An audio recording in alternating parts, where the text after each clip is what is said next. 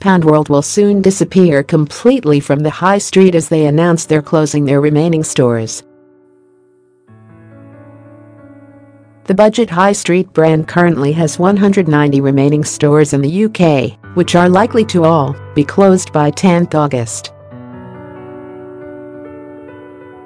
The closure of the remaining stores is expected to affect 2,339 members of staff.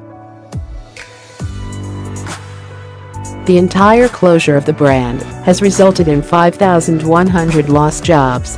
Administrators Deloitte have said they're still talking to interested parties who may wish to buy the 190 stores still open.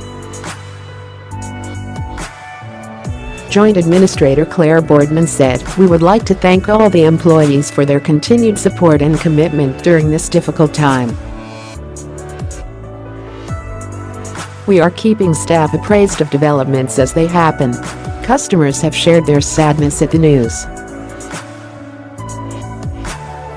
One shopper wrote on Twitter, Always sad to see another shop go out of business.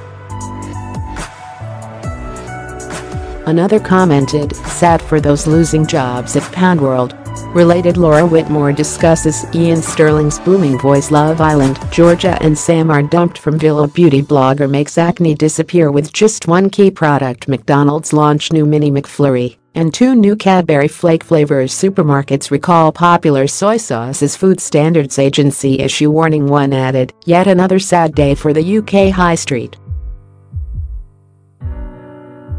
First Toys R Us, then Maplin, now Poundworld.